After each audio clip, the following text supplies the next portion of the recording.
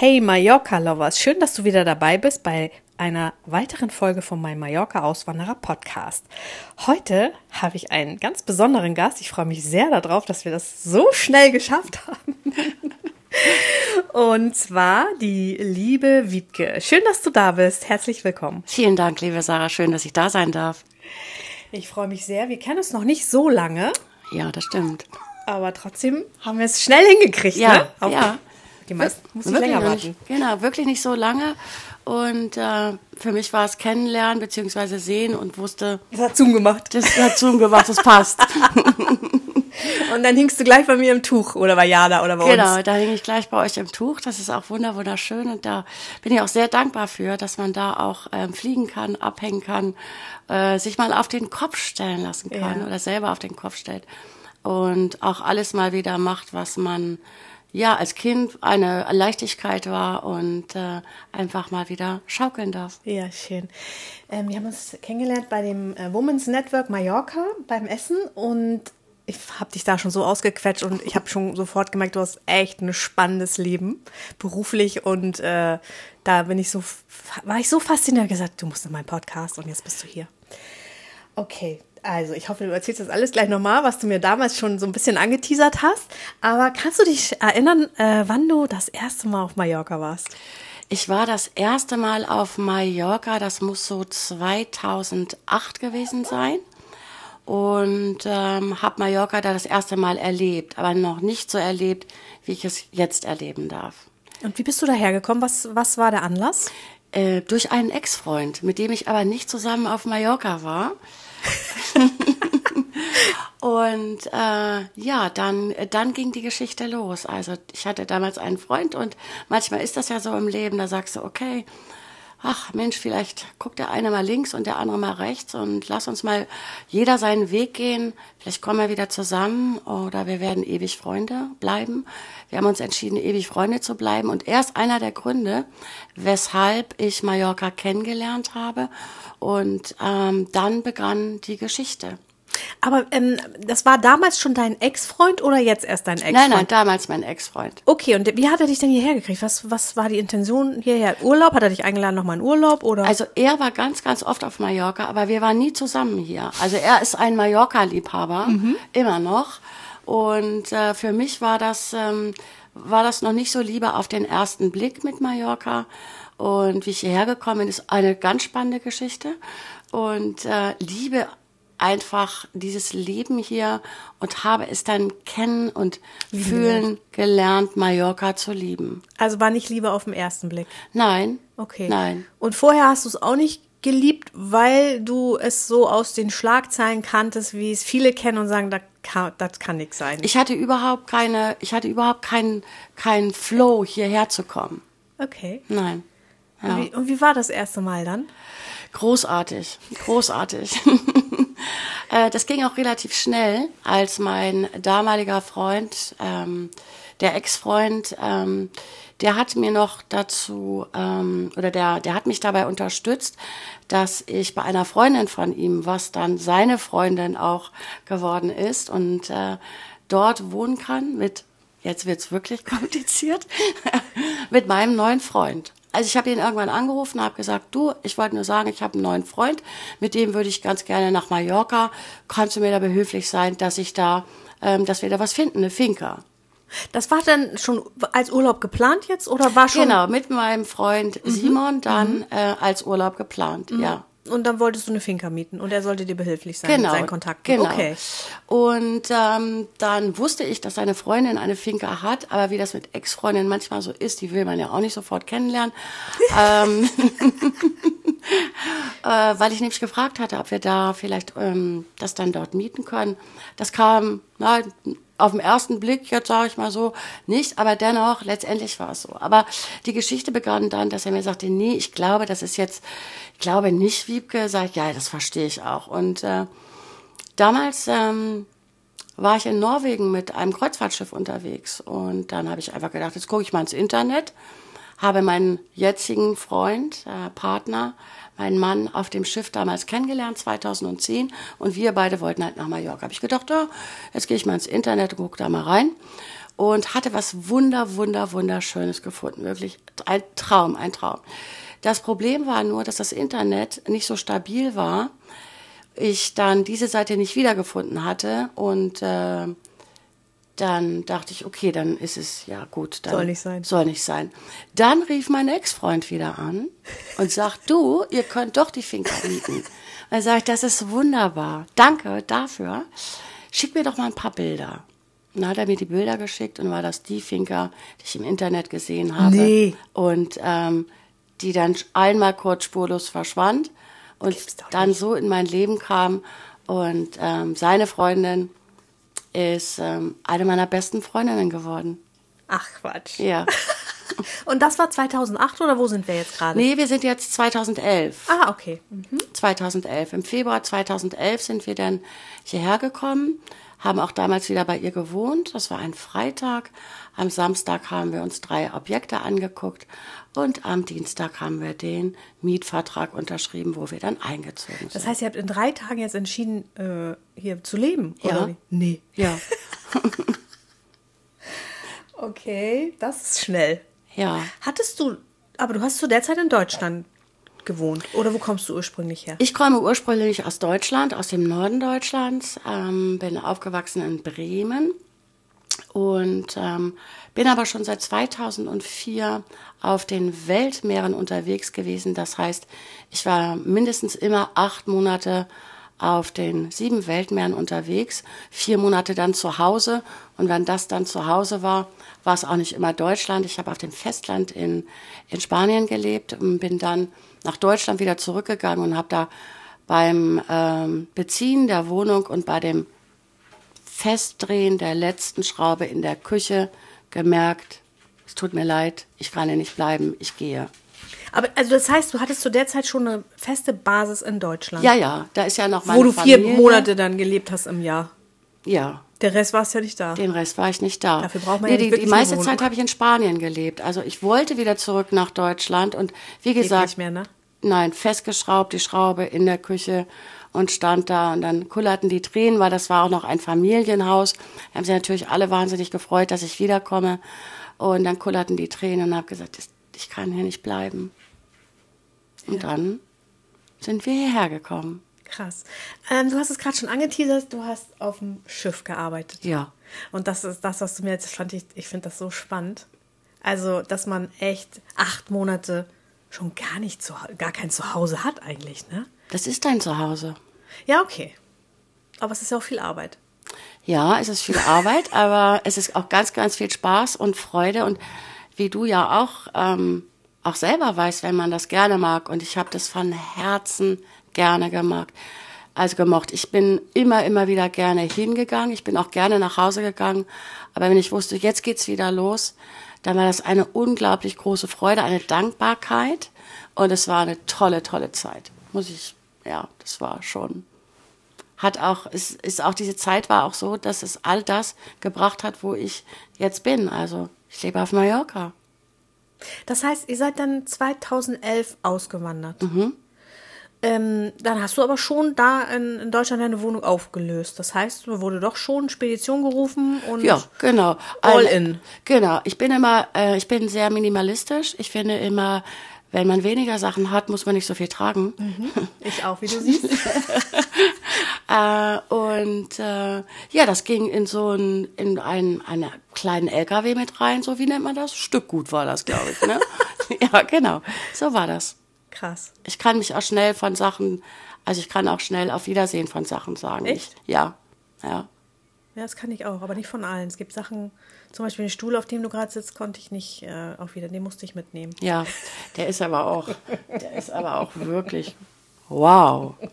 Den hätte ich auch mitgenommen. Und dein, äh, dein Mann, äh, musste der auch was auflösen oder wie, wie, wie hat der gelebt? Weil der war ja auch auf dem Schiff, ne? Der war auch auf dem Schiff. Na, der hat, äh, der kommt aus Österreich, aus Tirol. Und wir wussten sehr schnell, dass wir weder in Deutschland noch in Tirol leben wollten. Und das, das geht schnell bei uns. Das geht fokussiert, los, zack. Und wo wohnt ihr auf der Insel?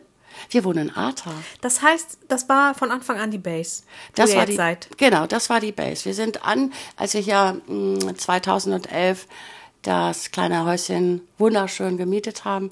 Das war in Sanasupa und da haben wir fünf Jahre drin gewohnt. Und ähm, jetzt wohnen wir in Arta, aber nicht in der Stadt, sondern so ein bisschen, bisschen auf dem Land. Und wie habt ihr das, äh, wie habt ihr das gefunden damals? Also jetzt das, die, die erste Location. Ihr wart hier, habt euch drei Objekte angeguckt. Wie habt ihr die Ich bin gefunden? zum Makler gegangen. In Arta. Genau. Und das letzte Objekt war es. Und das wu- wusste ich. Ich habe die Tür aufgemacht und wir haben uns angeguckt, haben gesagt, das ist es. Okay, da wart ihr euch auch gleich einig. Ja, das spielt man, ne? Ja. Ja, aber Ja. habt ihr ja Glück gehabt. Das ging ja schnell. Ja. Schön. Aber ihr seid ja dann auch fast nie da gewesen, oder?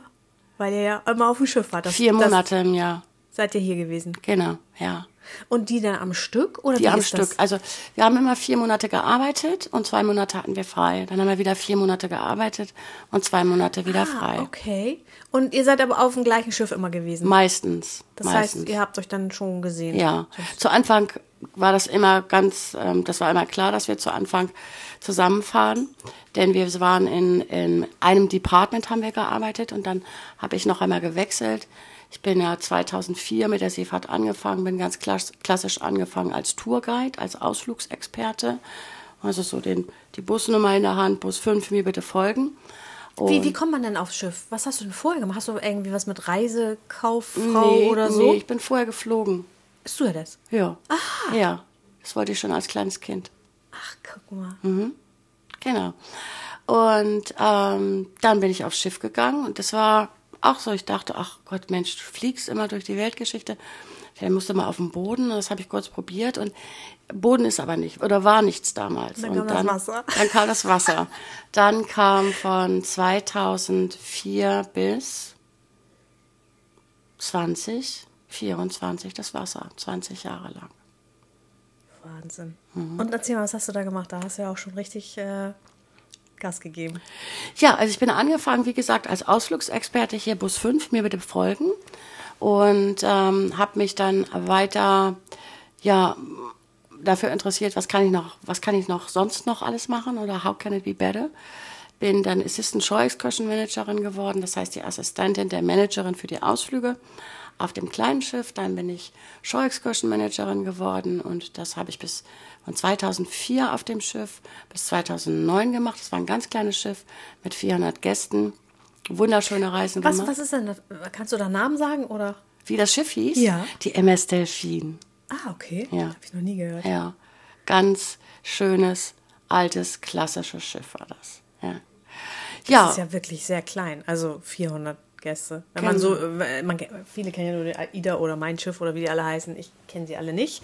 Aber da sind ja ein paar mehr Leute drauf, ne? da sind ein paar mehr Leute drauf, genau. Und so ist es dann weitergegangen. Dann habe ich das Schiff einmal gewechselt oder auch die Company gewechselt und bin am 1. April 2009 dann damals zu einer anderen Kreuzfahrtgesellschaft gegangen. Die ein bisschen größer ist dann, oder wie? Die ist ein bisschen größer gewesen. Wie viel, wie viele Passagiere gehen darauf? 2800, 2900. Und wie ist der Unterschied da so zum Arbeiten? Ich kann mir, wenn man jetzt so ein kleines Schiff hat mit 400 Gästen, dann ist das ja auch wahrscheinlich ganz so sternemäßig. Gibt es da Sterne auf so einem Schiff oder wie ist das? Wie in so einem, ist eine ganz andere Klasse für sich, oder? Das, das ist eine andere Klasse für sich. Das ist auch, ähm, aber dennoch ist es immer egal, wo du bist und wie groß das ist. Wenn dein Herz da richtig, wenn dein Herz da richtig dabei ist, dann findest du diese einzigartigen Geschichten immer wieder. Also ich habe Menschen kennengelernt, mit denen ich heute noch Kontakt habe. Unglaublich tolle Geschichten. Ähm, da schreiben wir dann mal ein Buch drüber. Ja, mach das mal. Ja. ich Und äh, auf diesem kleinen Schiff, da haben wir natürlich noch ganz andere Destinationen angefahren. Ich, ähm, wir waren in Südamerika, in ähm, von Argentinien über Chile nach Ushuaia in die Antarktis, durch den Amazonas, auf den San Blas-Inseln. Das war schon einzigartig. Und dann habe ich mich entschieden, das war im Februar 2009, da bin ich von Bord gegangen und habe gesagt, das war sehr, sehr schön hier, vielen Dank, mich zieht's weiter. Und dann bin ich 2009 halt zu der anderen, etwas größeren Kreuzfahrtsgesellschaft Und suchst du gegangen. die denn selber? Bewirbst du dich da oder wirst du abgeworben? Oder wie funktioniert sowas? das ist immer ein, ähm, ein Spiel mit, ne, ein Spiel ist nicht das richtige Wort. Also es ist immer, wie es im Leben generell ist. Du kennst Menschen, die rufen dich an und die sagen, du, da macht's eine neue Firma auf, eine Kreuzfahrtgesellschaft. Ähm, wir haben doch zusammen studiert und ich war doch auch bei dir auf dem Schiff. Hast du nicht Lust, da auch hinzugehen? Okay, Und genau. so, so geht mein ganzes Leben. Ah, okay. Ja. Und dann sagst du ja auch mal was anderes. Ja, ja, Und hast es auch nicht bereut. niemals. Nicht eine Sekunde. besser. Nicht eine Sekunde. Ja. Und das finde ich so spannend, weil du hast ja wirklich auch viel von der Welt gesehen, oder? Ja. Und trotzdem, dein Herz schlägt auf Mallorca. Das ist zu Hause. Das ist der Wahnsinn, ne? Ja, es ist wirklich zu Hause. Das ist, wenn man, ich glaube, das haben dir schon so viele gesagt, die dir hier an deinem wunderschönen Ort gegenüber saßen. Wenn der Flieger auf dem Landeanflug ist Ja. und du fliegst über die Insel, du siehst das Meer. Ich kriege eine Gänsehaut. Wir haben gerade übrigens 22 Grad hier. Und du steigst aus, das Licht, die Luft und es ist, du hast die, die Füße auf dem Boden und du sagst, ich bin gegroundet, ich bin, ich bin geerdet, ich bin zu Hause. Ja, und der erste Atemzug, wenn du aus dem Flieger Wunderschön. Kerosin noch dazwischen. Aber die erste Meeresbrise, ne? Ja. ja, ja es ist, es ist ich glaube, das fühlen wir alle gleich, die die es erwischt hat hier. Ja. Es erwischt ja nicht jeden, aber die, die es erwischt hat, von der Mallorca-Magie, die, die wissen genau, was wir meinen. Ja, krass. Aber wie gesagt, ich habe noch nicht so viel von der Welt gesehen, aber mich fasziniert das halt, weil die Welt, es gibt so schöne Orte. Ob es die Karibik ist oder, oder sonst wo und trotzdem ist es Mallorca dann. Es ist Mallorca, weil wenn man um die Insel herumfährt oder gerade hier auch Cala Agulla, ähm, Cala Mesquita, ähm, Cala Torta, das sieht genauso aus wie in der Karibik. Ja, stelle ich mir auch immer so Das vor. ist genau so, genau so ist es. Und was ich immer so, so schön finde daran, ähm, ist, dass man dieses Gefühl hat, aber dennoch ist man zu Hause. Ich lieb's Und da, einfach. da hast du dich nie zu Hause gefühlt, wenn du jetzt mal, äh, hast du einmal, hast du auch Urlaub gemacht, so, Karibik oder so? Oder brauchtest Nein. du das nicht, weil du ja Nein. eh ständig. Nee, ich bin ja, ich bin ja hier. Also ich bin ja dann, das ist das Tolle an Mallorca. Also ich bin, ich liebe es, zu Hause zu sein, wenn man auch so lange immer unterwegs ist. Du machst das erste Mal, schließt du deine Haustür wieder auf und du denkst, oh Gott, ist das wunderschön. Und ähm, ich, ich fahre nicht in den Urlaub. Also das, ich, ich habe alles vor der Tür. Und dann noch das Zuhause. Ja. Weil wenn du so viel unterwegs bist und in schwimmenden Betten, in dem Falle ja dann ähm, schläfst, ich ähm, bin sehr gerne zu Hause. Ich finde das total spannend, von, vom Fliegen zum Wasser zu kommen. Vor allen Dingen, weil du bist ja mit den Passagieren bist ja viel länger zusammen als in der Luft. Aber hast du dir ja nur irgendwie ein paar Stunden. Und auf dem Schiff, da, da Also sie Wochen. Wochen, ne? Wochen. Kannst auch Monate. Einige fahren auch Echt? Monate mit, ja. Und dann lernt man sich ja auch richtig kennen und die Geschichten und so, ne? Oder hat man die Zeit gar nicht dafür? Doch, ich hatte immer die Zeit. Ich hatte die Zeit und das hat auch meine Position, in der ich da gearbeitet habe. Ich war dort die Kreuzfahrtdirektorin, ähm, war da zuständig für das Entertainment und auch das ähm, natürlich für die Gäste, immer die Ansprechpartner für die Gäste oder Ansprechpartnerin und war das Gesicht und die Stimme des Schiffs. Und wie, wie hast du dich so hochgearbeitet? Also vom Nummern-Girl quasi zum, äh, zur Di Direktorin? Das ist ja auch krass, ne? Ja, also ich bin ja dam- damals, ähm, als ich dann zu der größeren Kreuzfahrtgesellschaft gegangen bin, bin ich ähm, als Assistant Shore Excursion Managerin eingestiegen und durfte eins der, durfte das erste Schiff eröffnen. Und ähm, das war ganz lustig in der Werfzeit, denn ein Schiff zu eröffnen ist was ganz Besonderes. Das vergisst du nie. Das ich. Niemals. Das ist so aufregend und es ist so eine Gemeinschaft und so ein Zusammenhalt. Das ist einzigartig. Und ähm, das war auch alles super. Und ich hatte auch einen ganz, ganz tollen Chef, nämlich den Shore Excursion Manager. Ein wirklich ganz entzückender Mensch. Aber ich habe mir das alles ein bisschen anders vorgestellt. Also ich habe da sehr, sehr, sehr, sehr, sehr viel gearbeitet. Und ähm, ich finde, Arbeit kann man gut aufteilen zwischen ein, also ne, zwischen den Menschen, die dafür verantwortlich sind. Und wenn das nicht stimmig ist, dann äh, ist es auch nicht wertvoll. Und in dieser Zeit habe ich dann entschieden, nee, so habe ich mir das nicht vorgestellt. Ich fahre nach Hause, ich gehe, ich kündige. Und habe das dann auch der Firma mitgeteilt und äh, die hatten gesagt, nein, das können Sie doch nicht machen. Und ich doch, doch. Und ähm, bin dann damals relativ schnell dann Show-Excursion-Managerin geworden.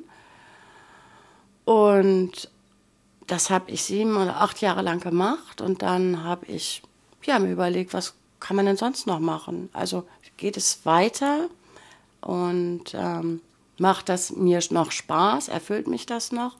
Und auch macht es den anderen auch noch Spaß mit mir? Und es gab einige Sachen, die konnte ich also ganz klar für mich beantworten und habe dann gesagt, okay, dann war es das jetzt. Ich hatte eine ganz, ganz tolle Zeit ab, aber also da hat man auch wirklich, wirklich, wirklich viel, viel gearbeitet und eine ganz große Verantwortung auch gehabt.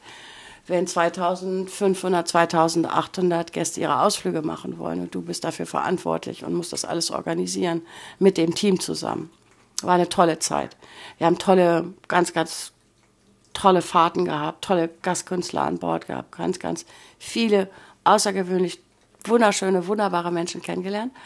Und dann habe ich aber gedacht, so, und das war's jetzt. Und dann bin ich einfach zum Essen gegangen. Und der damalige Direktor für die Kreuzfahrtdirektoren stand neben mir. Und wir kennen uns, kannten also schon seit 2009 und plauderten und plauderten. Und er sagt, wie geht's dir, was machst du so? Und er sagt, ich suche so viele Kreuzfahrtdirektoren gerade. Und dann habe ich gesagt, naja, wenn du mal eine brauchst, sag doch einfach gerne Bescheid. So, und das war der Anfang meines Bewerbungsgesprächs.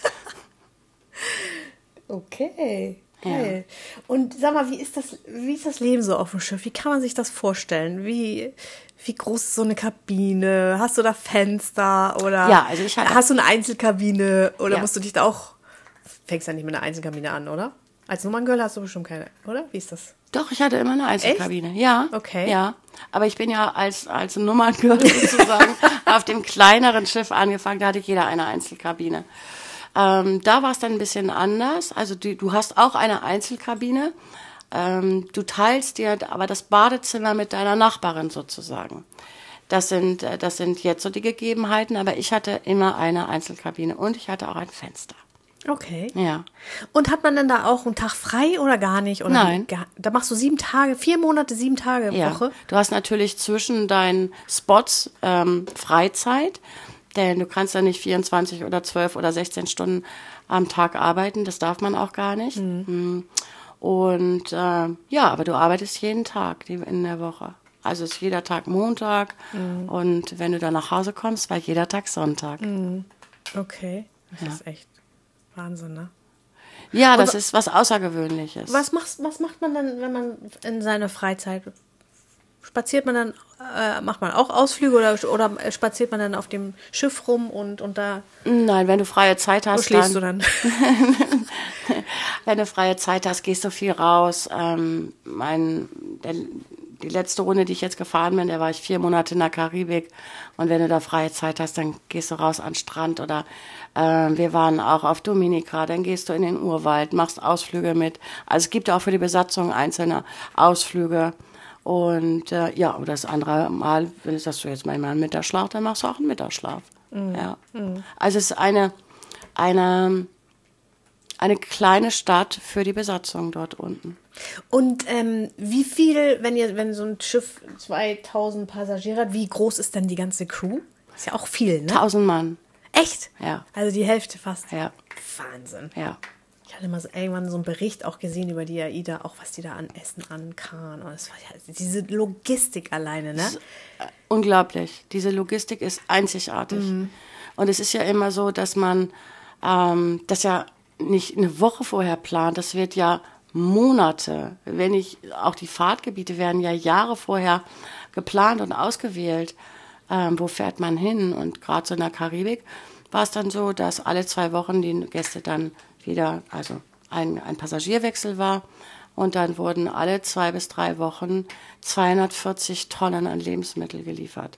Das ist der Wahnsinn. Ja. Und das ist nicht nur so, dass sie da sind, die müssen auch verräumt werden. Ne? Ja, ja. Ja, ja, das- ja das äh, ist, ähm, ist was ganz, ganz Besonderes, äh, dort zu arbeiten. Ist Ich, ich, ich, ich finde das echt faszinierend. Überhaupt so. Das ist ja ein richtiger Hotelbetrieb. Da brauchst du ja eine Wäscherei, muss da ja drin sein. Ja. Und, und alles. Also alles. alles. Ist alles da.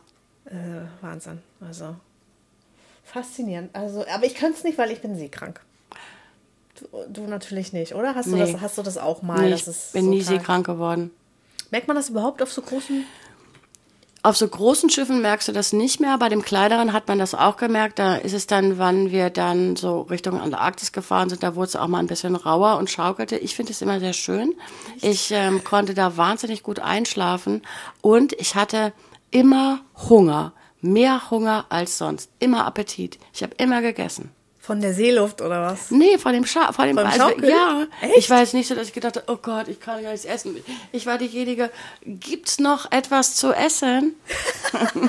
Aber ich glaube, Ja. deswegen fühlst du dich auch im Tuch so wohl, weil, weil das auch so schön schaukelt. Ja. Ne? Weil es gibt Leute, die kommen nur einmal, weil die sind wirklich seekrank und den, dem, das ist nichts für die. Nee, also das Tuch, das Tuch ist so unglaublich. Ich, ich freue mich auch so, weil wir uns kennengelernt haben oder jetzt kennenlernen dürfen natürlich auch. Und als ich das erste Mal in diesem Tuch gelegen habe, natürlich nachher bei der Entspannung, da war es auch, ne? Da war es auch um mich geschehen. Also das macht ihr aber auch ganz, ganz toll. Man fühlt sich sehr, sehr wohl bei euch, sehr Ja. sicher. Ähm, weil das sind ja schon Dinge, die man da macht, die man, das hast du als Kind, hast du das tausendmal gemacht. Mach mal jetzt Eine Rolle, Rolle. rückwärts. Mhm. Oder zweimal, einmal vorwärts, einmal, haben wir gesehen beim letzten Mal. Ja, ja. Das, äh, das ist, ist einfach so wunderschön. Ja. Ja. Ja, das ist ja das innere Kind. Ähm, aber jetzt bist du ja runter vom Schiff, ne? Jetzt beginnt so ein neuer Lebensabschnitt, ne? Das, äh, fällt dir das schwer? Nein, War aber schon eine schwere Entscheidung, oder? Ähm, es gibt ja Dinge manchmal im Leben, wo du dir das schon mal gewünscht hast oder gedacht hast, ach komm, Das reicht, ne? es reicht, ich höre auf. Aber wenn es dann soweit ist, ist es doch schon. Ja, aber das ist so, wenn du das machst und wenn du das mit so viel Herzblut machst, dann denkst du nicht ans Aufhören. Aber es gibt, wie zum Beispiel, ähm, wir ja eine Zeit hatten, wo die Welt stehen blieb und auch ähm, wir waren die einzige Kreuzfahrtgesellschaft der Welt, die weitergefahren Echt? ist. Ja Ach, wie habt ihr das denn gemacht? mit einem fantastischen Konzept, was dort entwickelt worden ist. Mm, Aber dieses, ähm, ich bin ein, ein sehr, sehr freiheitsliebender Mensch und für mich war Schiff immer Freiheit. Immer. Du gehst raus, du siehst das Meer, die Wellen und diese Freiheit war da nicht mehr gegeben. Und ähm, das war so ein Punkt. Der weitere Punkt war, Hast dass du da schon ans Aufhören gedacht? ich habe als oder? Aufhören gedacht, als ähm, mein äh, Mann aufgehört hat, ähm, auf dem Schiff zu arbeiten. Wir haben ja elf Jahre lang zusammengearbeitet. Und da gab es eine Situation, da hat man gesagt, okay, ähm, ich höre jetzt auf damit. Und dann ist es mir natürlich schwerer gefallen, wegzufahren. Weil vier Monate getrennt zu sein, Er ist dann hier geblieben. ja, und er ist hier geblieben. Und ähm, das ist ein absoluter Familienmensch. Und wenn du weggehst, ist es immer noch was anderes als einer, der zu Hause bleibt. Und ähm, ich weiß, wie sehr der seine Familie braucht. Ähm, und dann war da die Überlegung schon. Und da habe ich damals schon immer gedacht, nee, also ich glaube, nee. Aber das ist so, das ist schon wie eine Sucht, auch dort zu arbeiten, kann man ganz ehrlich sagen. Ja, das glaube ich. Ähm, alles drumherum, das ist ja eine, auch eine Leichtigkeit. Du, ähm, du beschäftigst dich jetzt nicht mit der Weltpolitik, sondern du siehst und tust alles dafür, dass der Gast, der seine Zeit, das Wichtigste, was er im Jahr hat, da hat. einfach schön hat. Und ähm, dann kam aber so langsam, jetzt sind wir ja nicht mehr hier zusammen, also wir fahren nicht mehr zusammen. Das war ein bisschen schwierig. Und manchmal ist es im Leben so, dann hast du das schon mal ins Universum geschickt. Und manchmal geht es schnell und manchmal sagt das Universum, du hattest da einen Wunsch, der ist dir jetzt erfüllt. Und dann gibt es Situationen im Leben, wo du sagst, ähm, okay, das mache ich. Oder du sagst einfach, dass meine Werte sind woanders und dann entscheidet man sich, was anderes zu machen. Ja, aber die Entscheidung zu fällen und das dann zu leben, das ist ja noch sehr frisch bei dir, ne? Ja. Ganz frisch. Ganz bist, frisch. äh, Seit Januar. Genau. Und das sind ja gerade mal zwei Monate oder so. Stimmt. Das heißt, normalerweise merkst du es ja erst nach vier, nee, nach zwei, du bist zwei Monate zu Hause, ne? Ja. Vier Monate weg, zwei Monate zu Hause. Das heißt, du merkst ja jetzt erst bald, dass es gar nicht mehr aufs Wasser geht. Ja, und das ist ein ganz, ganz tolles Gefühl. Echt? Ja, denn ähm, so schön wie das alles ist und auch, dass du, dass du so viel geben kannst und so ein Beitrag oder ein Mehrwert für ganz, ganz viele Menschen sein kannst, die dich nie vergessen werden, weil die so schöne Momente erlebt haben. Wir haben, ich habe Momente erlebt und Momente auch kreiert, wo Menschen vor mir standen, die so geweint haben, haben gesagt, danke, danke für diese wunderschöne Reise. Und das ist dann natürlich auch was Energetisches. Und du kennst mich ja ein bisschen schon, dass ich auch ein energetischer Mensch bin. Und äh, viele Menschen geben die Energie, aber das sind 2800. Die können dir viel oder die können dir etwas geben, aber viele können auch an dieser Energie Ziehen, ja. ziehen. Und ähm, das war für mich der ausschlaggebende Punkt. Ich war einfach, du stehst in einem Theater, machst eine Show, moderierst, machst eine Fernsehsendung und da stehen, da sitzen tausend Menschen. Und das ist natürlich, Ziehen. du musst nachher auch wieder auftanken. Und dieses Auftanken dauert immer so drei Wochen. Du bist dann nach Hause gekommen und hast gedacht, wow. Und ähm, ich freue mich jeden Morgen, dass ich das gehabt habe. Ich freue mich jeden Morgen, dass ich im Schmetterlingskostüm, wenn ich wollte, äh, auf unserer Finca stehe und sage, danke für mein wunderschönes Leben. Ja, das sage ich auch. Ja. Habe ich heute Morgen auch wieder gesagt, als ich an der Kalaguya stand. Ja. Oh mein Gott. Und da denke ich auch, ich bin in der Karibik, wenn ich so die, dieses Wasser sehe. Und es wäre jetzt fast der Zeitpunkt gewesen, jetzt wieder loszufahren. Und da habe ich letztens noch mit Freunden drüber gesprochen, dass ich so, zehn Tagen wäre ich wieder losgegangen. Und ich sage so, danke, dass, ähm, dass ich das hatte. Und äh, ja, jetzt einfach wunderschöne neue Wege kommen. Ja, und was kommt? Weißt du schon was?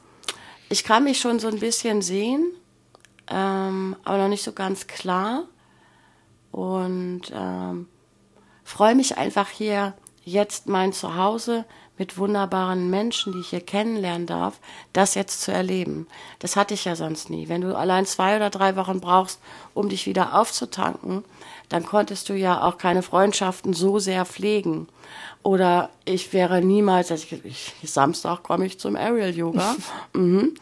Da hätte ich gesagt, nee, ich hau mich an den, an den Strand. Ruhe, ne? Äh, Ruhe, erstmal- einfach Ruhe, die ich hier aber auch finde, auch mit solchen Dingen. Und was ich ganz toll finde, auch in, in, in dem äh, Women's Network, was für tolle Menschen, für tolle Frauen es da gibt und was du hier alles machen kannst. Ich- Ich war aber letztens, als ich wieder nach Hause kam, ich sag, ich äh, bin ja wieder weg. Und alle so, was machst du denn immer die ganze Zeit? Ich sage, ich muss noch, ich möchte dahin und dahin und dahin. Und das finde ich so wunderschön, dass ich mich da so setten kann.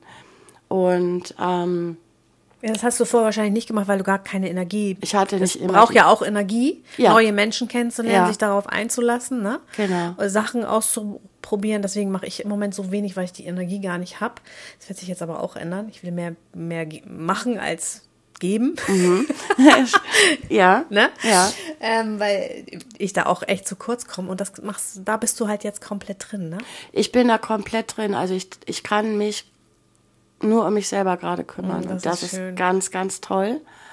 Und ähm, ja, was, was mache ich sonst noch? Das, ähm, ich habe noch 2018 bin ich ins Network Marketing mit eingestiegen mit einer Firma aus Österreich. Da geht es um wunderbare Produkte, die ähm, deiner Haut gut tun. Und ähm, ich hatte einfach die Nase voll, mir Plastik ins Gesicht zu schmieren und habe die kennengelernt.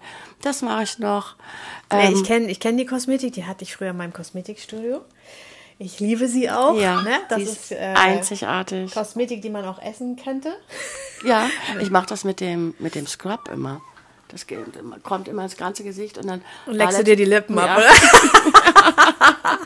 das Ja, Peeling, kann, echt? Ja, du kannst es Ja. essen. Happy. Ihr müsst wissen, Happy ist gerade äh, läufig und deswegen quietscht ihr so ein bisschen rum. Hm, Nicht, dass ihr euch wundert. ja, ist gut, Schatz. Nee, und ähm, die haben ja auch aber äh, was für Innere. Für, zum Na- Nahrungsergänzung haben die ja auch. Genau, ne? Supplements haben die auch. Genau, Superfood. Ja. Ja, schön. Und da ma- machst du dir jetzt noch ein zweites Standbein. Ja, das habe ich schon seit 2018, aber das ist natürlich, wenn man jetzt auch ein, du kannst es ja von überall auf der Welt machen, aber dennoch ähm, braucht, finde ich auch immer, dass ähm, du brauchst natürlich dein, dein Netzwerk und deine Kontakte. Und ich war ja immer so, ich kam ja rein und kam auch wieder raus. Ähm, und das ist einfach eine tolle Art und Weise, auch in diesem Netzwerk zu arbeiten, denn ich habe noch nie so viel Frauen kennenlernen dürfen, die sich so sehr freuen, wenn, ähm, wenn man etwas, etwas weiterempfiehlt, wenn man etwas Gutes tut, wenn man ein Mehrwert ist und auch wenn man erfolgreich ist, dass sich andere freuen. Das ist, ist schon toll. Hast du denn schon ein Team aufgebaut? Okay, also Mhm. Ja. du bist ja schon, schon im Business drin. Ja. Okay. Ja, wir planen ja auch noch ein Event hier Genau. bei uns auf der Wellness Finca, wo wir äh, mal so ein Fresh Date machen. Fresh Day machen. Genau, Fresh Day heißt das genau. Und das mal vorstellen, weil wie Ja. gesagt, es gibt da echt ganz tolle Sachen. Da freue ich mich drauf. Also wird dir nicht langweilig. Du bist jetzt Nein. noch nicht in Rente. Ja, es gibt noch die Sache mit dem Olivenöl ja auch. ja, stimmt. Ja, also das ich, unbedingt erzählen. ja, da sehe ich mich einfach. Also ich ähm, freue mich. Ähm, Also Wiebke hat mir gerade ein schönes Geschenk mitgebracht, da habe ich mich sehr drüber gefreut. Ähm, eine, eine ganze Flasche Olivenöl und sie sagt, das hat sie selber geerntet. genau. Erzähl mal. Das heißt, ihr habt eine, eine Plantage. Genau, da stehen äh, ganz viele Oliven und die äh, haben wir dann abgemacht und haben die zu einer Olivenmühle gebracht. Und äh, das Schöne daran ist, dass die natürlich auch völlig natürlich sind. Also da ist nichts draufgekommen.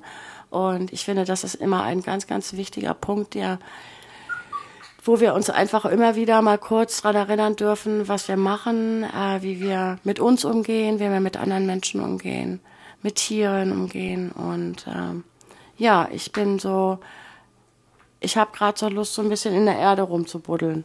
So. Hab, habt ihr denn, wohnst du auch auf einer großen Finca, wo du viel Platz hast, auch äh, zum Gärtnern und so? Ja, ja, haben eine. Muss ich mal besuchen. Ja, gerne. Und äh, sag mal, wie viel, wie viel äh, Liter Olivenöl habt ihr jetzt? Also ist das wirklich ein Markt? Kannst du das verkaufen? Und äh, oder, oder wie macht ihr das? Oder ist das jetzt nur für, für Eigenbedarf und mal eine Flasche verschenken? Also im Moment ist es so für Eigenbedarf, Flasche verschenken, aber wer weiß, was noch kommt. Also wir sind da für, alle Dinge offen und ähm, wir schauen, was sonst noch alles möglich ist. Und dein Mann, der hat ja auch, ist ja auch nicht mehr auf dem Schiff. Was, was macht der so? Der hat eine Baufirma. Hier auf der Ja. Insel. Ach so. Ja. Hatte der das schon immer oder, oder jetzt? Der kommt aus ähm, dieser Branche, das hat er, das hat er gelernt, also als er noch in Österreich war. Und ähm, wir haben ein Haus gebaut. Und wir wussten, dass unser Haus von dem Bauunternehmer ähm, das letzte Haus sein wird. Dann geht er in, also dann schließt er sein Geschäft, dann Hier auf geht er in? Rente. Ja, ja, ja, in Arta. Ah. In Arta, genau. Und ähm, der sagte, das ist das Final de Casa ist von Simon und Wiebke. Okay, und dann hört er auf. Und er braucht einen Nachfolger oder was? Ja, so in dieser Art und Weise nicht, sondern der hatte natürlich seine Mitarbeiter. Und als der den Laden zugemacht hat oder sein Baugeschäft geschlossen, also ne, als er in Rente gegangen ist, sagen wir mal so, oder als er in einen neuen Lebensabschnitt, ich finde Rente ist so ein schweres ja, ja, Wort, oder? das stimmt. Eben ganz schrill, also, also als er in einen neuen Lebensabschnitt geflogen ist, dann hat Simon gesagt, ja, aber jetzt haben die Arbeiter ja gar keine, gar keine Arbeit mehr. So. Und ähm, da er ein, Simon ist so ein Macher äh, und hat gesagt, gut, dann mache ich eine Baufirma auf. Damit ihm nicht langweilig wird. Ja, und das macht er seit drei Jahren. Krass. Ja. Was hat er denn auf dem Schiff gemacht? Der war Activity Manager, das heißt die Aktivausflüge, da war er der Manager für. Okay. Ja. Passt ja. Ja. Okay, du brauchst also keinen Urlaub. Da, Urlaub ist für dich hier die Insel, so Hier. wie bei mir auch. Und ähm, was würdest du denn Auswanderern empfehlen, die uns jetzt zuhören, wenn die auch auswandern möchten? Was sollten die machen? Was sollten sie auf keinen Fall machen? Hast du da Tipps? einfach machen und ähm, sich so einem wunderbaren Netzwerk, wie wir das hier haben, einfach anschließen.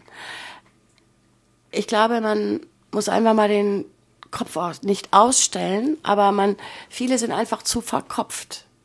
Und ähm, was soll denn passieren?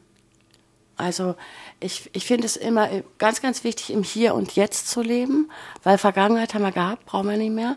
Zukunft können wir nicht reingucken, aber das wir, was wir jetzt machen möchten, das können wir jeden Tag selber kreieren. Das stimmt. Fällt dir das leicht, im Jetzt zu leben? Ja, Ja? ja. Schon immer oder nur jetzt gerade? Nee, das fiel mir schon immer leicht. Also ich habe mir auch die Welt schon immer so gemacht, wie sie mir gefiel. Pipi Langstrumpf. Pippi Langstrumpf. war ich schon als Kind, war ich auch immer im Fasching oder Karneval, wie es immer Das mal. glaube ich dir sofort. Ich zeige dir mal ein Foto. Es gibt, ne, es gibt Fotos davon. Guck mal auf mein Vision Board. Na, wunderbar. Ja, dann wissen wir, warum, warum das alles so ist. Da nämlich auf diesem wunderbaren Vision Board ganz oben ist Pipi Langstrumpf drauf. Und ähm, einfach machen. Aber was soll passieren? Also was sagte Pipi Langstrumpf schon immer? Habe ich noch nie gemacht, wird bestimmt super. Könnte gut werden, ne? Könnte klappen. Ja. Ja. Und ähm, ja, was, was soll passieren? Oder vielleicht, um das Ganze auch noch mal ein bisschen mehr auf den Punkt zu bringen, vielleicht auch einfach mal erstmal herkommen oder sich ähm, die Insel anschauen. Wo, wo, was ist überhaupt mein, mein Punkt? Also für mich war es von Anfang an Ata und nur Ata und hier so drumherum. Also für mich ähm, gibt es jetzt nicht den Süden, da, da fahre ich mal hin, aber ich fühle mich hier sowas von zu Hause. Du gehst hier durch dieses kleine, süße Dorf, morgens kommt die Omi vorbei, oh, Laketal, hältst ein kleines Pläuschen, trinkst ein Cortado, fragt dich auch jeder, wie geht's. Und es ist, es ist einfach wunder, wunderschön. Ja. Finde deinen Platz auf dieser Insel, schau dir die Insel an und äh, miete vielleicht erst einmal etwas. Wenn du natürlich Auf jeden Fall, ja. wenn du, wenn du schon sagst, ich, ich will ja ausgehen. Und was natürlich, glaube ich, auch mh, schon ein, ein, ein Punkt ist, ähm, das ist wie überall, finde ich, wo man auswandert. Also man muss jetzt nicht mit 1000 Euro auf dem Konto hierher kommen. Das muss man jetzt wirklich mal sagen. Das machen ja wirklich die eine oder andere Geschichte, die man schon erlebt hat. Also auch hier kostet das Leben.